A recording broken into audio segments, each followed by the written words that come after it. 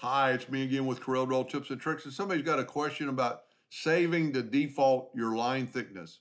I draw everything in a hairline, graphic.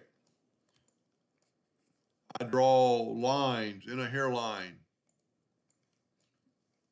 But if he wants something other than a hairline with nothing selected is the key.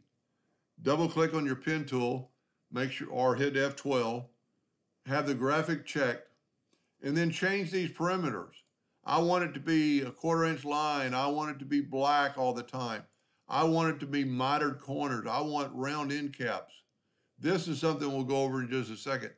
I want to scale with object and behind fill.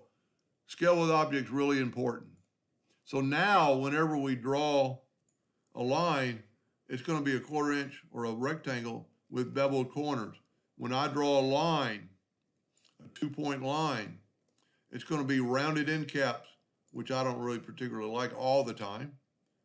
So the key is nothing selected. Now, if you remember, we this one was scaled with object.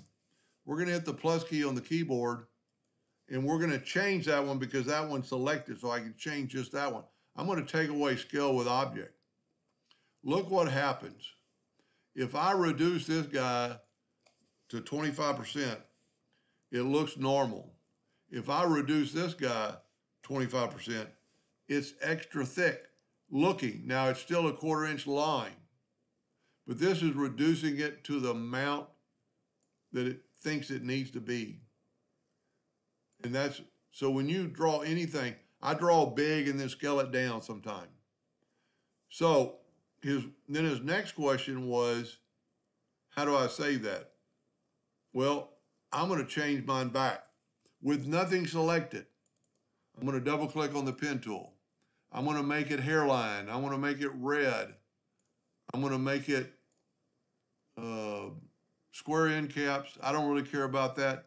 Scale with object hidden behind. I don't care about fill behind. That's another subject. And scale with object. I draw everything in hairline so it doesn't really matter.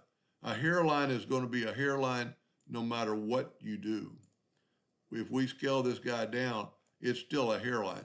So it's only when you're drawing on those thicknesses. So just go to tools and save as default, and then it's going to save all these things. Now make sure when you do this that all everything, all your other parameters are the same you want. You want it in inches because that's going to save all this information. Your duplicate distance, your nudge factor. Now let's go behind fill a little bit. Let's make this thing thick. And let, I didn't hit okay. You need to hit okay. I want to make it quarter inch thick, say okay. I'm going to make a duplicate of this, okay? I'm going to double click on my pen tool. I've got that one selected. This one I'm going to put behind fill. Now let's fill this one in with blue. Select it, fill it in with blue. Select it, fill it in with blue. Look at the difference. That one is, and you can actually get it behind there more. This one, the full line, the fill is in the middle. Let's double click on our, well, let's do this. Let's make another box. Hit the plus key on the keyboard. Double click on our pen tool or hit F12. And this time we're gonna put right here inside. Look at that. The, there's still an outline there, but the fill is in front of it. So let's take away the color and our line is still there. Add the color back in the fill. It all depends on your positioning.